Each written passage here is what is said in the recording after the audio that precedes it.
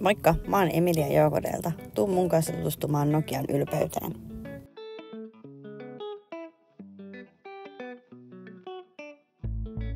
Tämä valoisa 25-neliöinen yksiö valmistui tammikuussa 2024. Keittiössä on jääkaapipakastin, kerääminen liesi, erillisuuni ja astian pesukone. Eteisestä löytyy iso ikkuna, josta näkymät on Nokian keskustaan. Tähän saisit mahtumaan hyvin isommankin sängyn.